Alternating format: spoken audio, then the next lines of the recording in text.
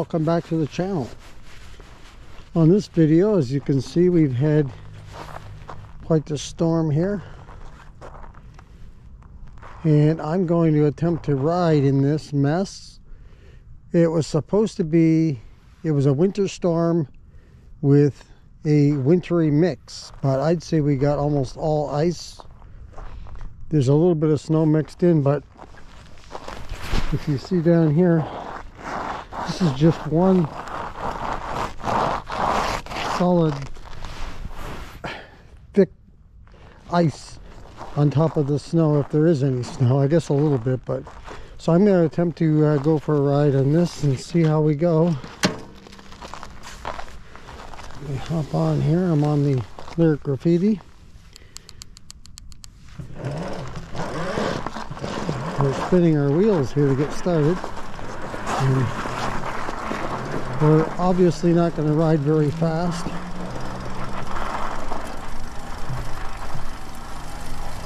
So we're not the only ones to be getting this kind of weather lately. Everybody, it seems, in the country almost is dealing with some kind of a situation. But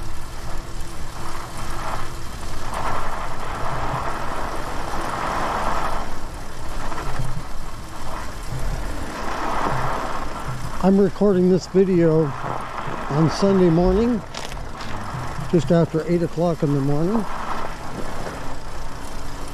And I can tell you one thing. The hardest part about this riding in it is the car tracks.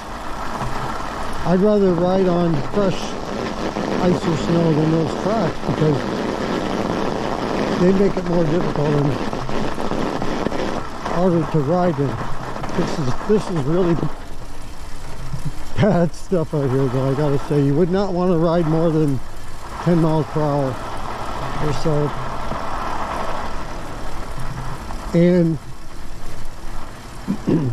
you know, if you think about this, I'm on a road where there's actually, as you can see, no cars this morning. So it's a good time to get out. That's why I want to get out here right now. Uh, and do a ride before we get any traffic or anything going because I think uh, I'm to turn it up here. No, I think I'll go straight actually. Uh, I think as I slide around a little bit here, get back into my spire, I was thinking about turning there. I think um, I think as long as you're careful and with me with the fat tires, I feel a lot more comfortable riding with fat tires than I would with a, more of a regular tired bike. Like say, I'm saying regular tires, say you have two inch tires. I feel better riding a bike with four inch fat tires than two inch tires. But uh, if there's traffic on the road at all, whether you're on a side road that's busy or more of a main road, which would be worse because it's obviously going to have more traffic, that's where it could get really tricky because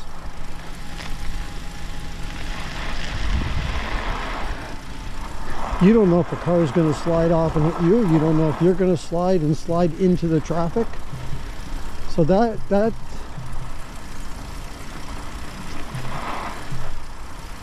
would be the scary part for riding in this to me is not how you control your bike but it's how they're controlling their car and uh, you know what you're going to come upon. I wanted to mention the temperature right now. So we're sitting at uh, 16 degrees as I come out from this ride this morning and the wind is making it feel like four so if we translate that to metric, oh, I didn't want to go up this way, but I'm going to now that I did it. Uh, so we convert that into metric. We're about 9 Celsius the temperature, and with the wind, it feels like minus 16 out here. We have a north wind of 9 miles per hour at the moment. or 15 kilometers. So nothing like yesterday. So uh, a little bare spot, wow. So I actually rode to work and back yesterday. I was working and in the morning it was fine. It was windy and cold, but nothing really, very little precipitation at that time, which was just after five in the morning. But when I came home, which was about two o'clock in the afternoon, it was uh, nasty out. And I actually recorded a video or thought I did and when I went to check my camera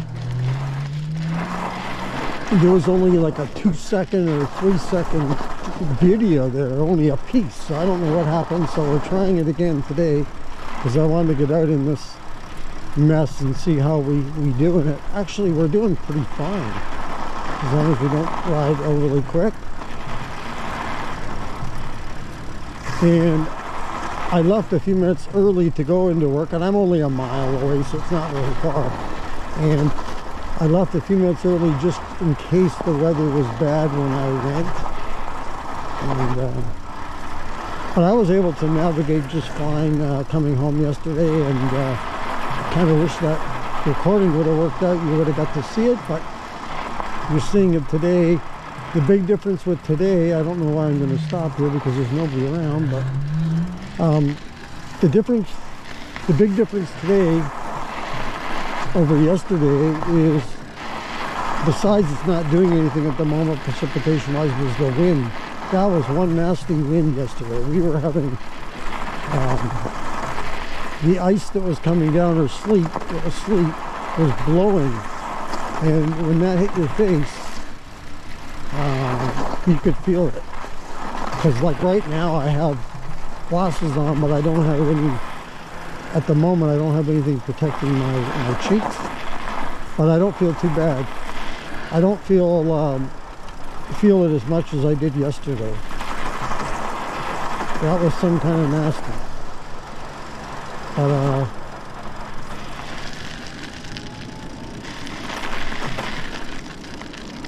here in uh, this part of the world, unless you're on a main highway and even then you're lucky I guess um, you may not see a snowplow and uh, that's just the way it is and they don't sand or do nothing as you can see I'm riding right on uh,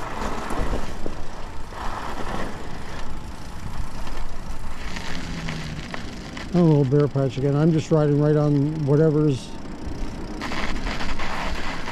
come down and is on the road, that's what I'm getting here. There's a car up ahead. And it looks like a fire truck up ahead. Is that a fire truck? Looks like a fire truck, yep. I wonder what's going on there. A stop sign. Let's stop just for fun.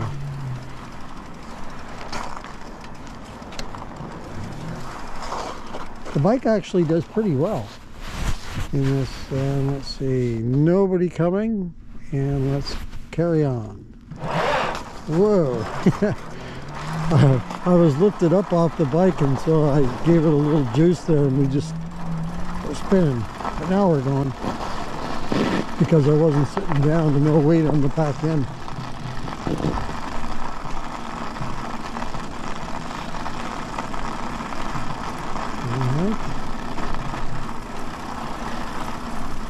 It can't be too serious, they don't have their lights going.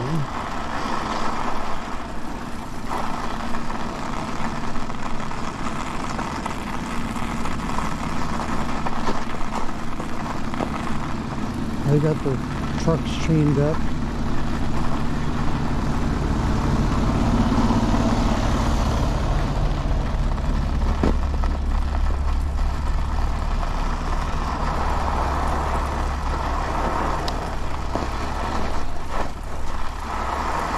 I suspect it's a medical emergency and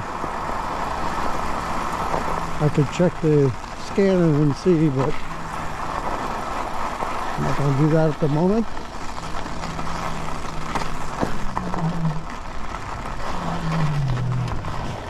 Here's a pretty cool scanner you can get for your phone or computer. Um, and it's called Broadcastify and it's pretty cool. I'd probably find out the situation that's going on there, but it's all good. And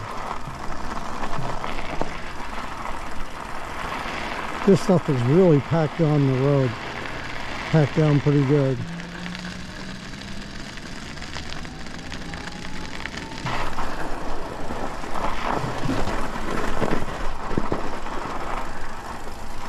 We're able to navigate through without a problem other than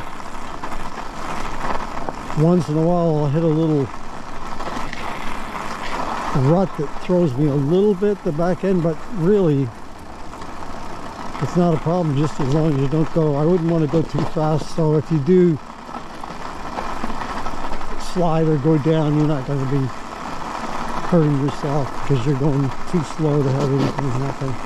I've got my helmet on and I feel safe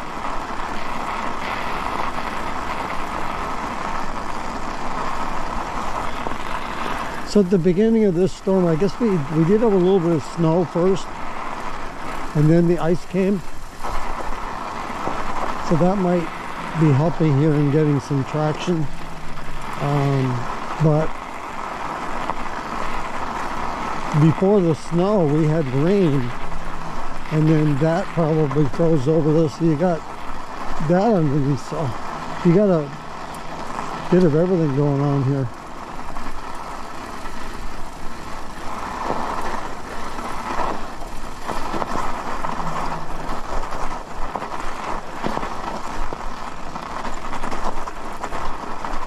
If you want to comment in the comments below on this video, go ahead and leave a comment. And if you think I'm crazy, go ahead and write that. I just wanted to do a little demonstration that it can be done if you're careful. You can ride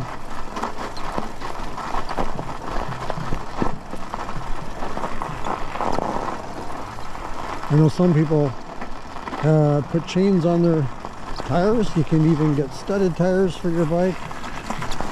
But you know it happens so infrequently here that you wouldn't use them very uh, very much, maybe once or twice or three times a year and that's it.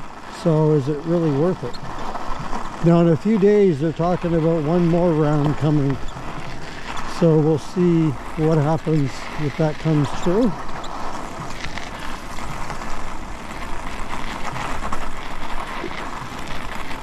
And after that, we're warming back up.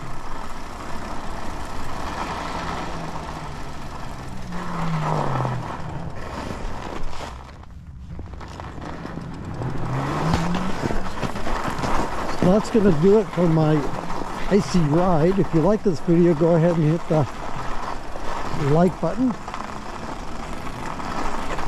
If you would like to subscribe to the channel, just hit that subscribe button and join the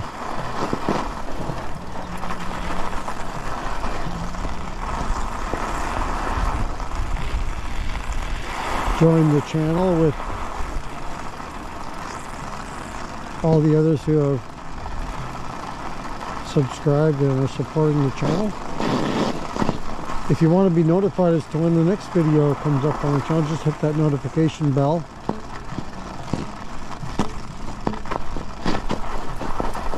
Once again, thank you for joining me on this wintry ride. And until next time, see ya.